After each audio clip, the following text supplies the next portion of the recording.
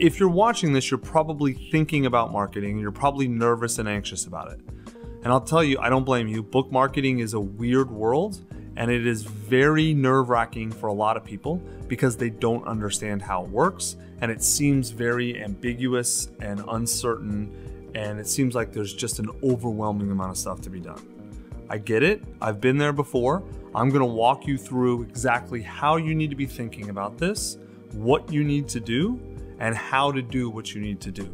Part one how to think about book marketing. Most people teach and think about book marketing in a way that doesn't work for the authors that work with us, right? So I'm going to give you two frames for book marketing, and I'm going to come back to these again and again and again over this course. Do not, in fact, I won't let you forget these, so I'm not going to tell you not to forget them. The first one I'm going to explain is a book is a marketing tool, not the thing you market. Now, a lot of people think if they're going to get visibility from a book, what they have to do is become a famous best selling writer who sells millions of copies. Because isn't that the best way to get visibility for a book, right? No, it's actually not. And I'm saying that as a dude who actually was a famous best-selling writer who sold millions of books. That doesn't actually work well, right? It's not that it's bad to have a goal of being a famous writer or selling lots of books. It's just that it's utterly unrealistic for you and it usually is going to hurt you in your actual goals. So let me explain. Uh, first off, to give you some perspective, there are about 300,000 new books published every year in America. In fact, I think that number's even gone up. I think last year it was 500,000. And the company that measures book sales in America, it's called Bookscan. It estimates that about 200 books, 200 books per year, give or take, sell even 100,000 copies. Right? So think about that for a minute. 200 sell 100,000 copies, and less than two dozen sell a million. And most of those are novels, by the way. It's extremely rare for a nonfiction book to sell a million copies in a year. I've sold 3 million copies, that's over 10 years, counting four books. Furthermore, goals trade off. If your goal is to sell millions of copies, that means you've got to write a book that's appealing, at least in theory, to millions and millions of people.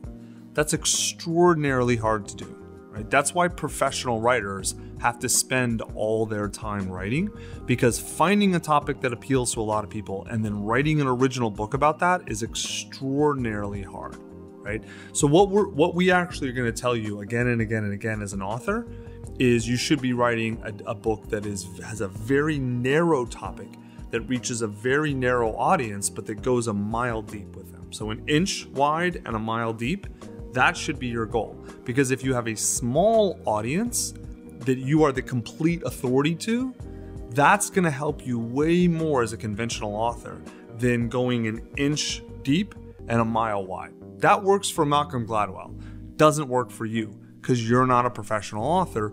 You have a business, or you're a consultant, or you're a coach, or you're a doctor, or in, you're some other type of service professional or business person, or you're an executive. If you have a day job, a real job, the book is not intended for to turn you into Tim Ferriss or Malcolm Gladwell or Seth Godin. The book is intended to make you better at your job. So the book should be geared at the people you serve in your job, not everyone in America. We like to say that our clients don't want a book, they want what a book gets them. Think about that for a second. Most clients come to us, they say things like, in fact, there's three main categories of benefits our clients ask for. They want a book to get them visibility, right? So that means authority in their field, credibility in their field. They want to be seen in a new way with potential clients, with peers, things like that. Makes a lot of sense, and a book is very good at that. The second thing that our clients uh, ask for a lot is more opportunity. They want a book to generate opportunity for them, whether that's bring more clients or uh, drive uh, more sort of meetings or or open doors or get them speaking gigs or uh, get them media in some way shape or form they want a book to open doors and create opportunities that didn't exist the third thing that clients really look for is legacy right? This is a, a minority of clients, but still quite a lot. They want a book to leave something behind. They want it to tell their story or to tell part of their story. They want it to show what they've contributed to their culture, their society, their world.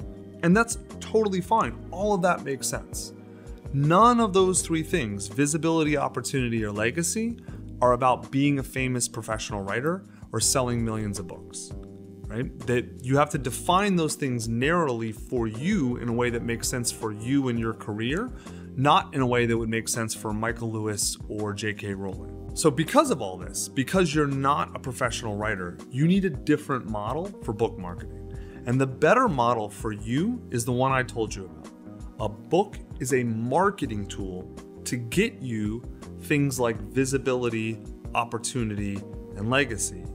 It's not the thing that you market right? For again, a professional writer, they've got to go market their book to get people to buy copies of their book. That's the only way they make money. That's their entire job. Your job is to use the book to help you in your actual job. See the difference here? Once you understand this, it makes book marketing really easy and it makes it really understandable as opposed to trying to think, "Oh god, how am I going to how am I going to do what Seth Godin does? You're not going to.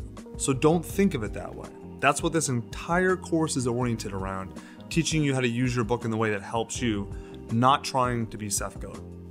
The second frame we're going to talk about that's really important for you is understanding that book marketing is a long term process and not a single event.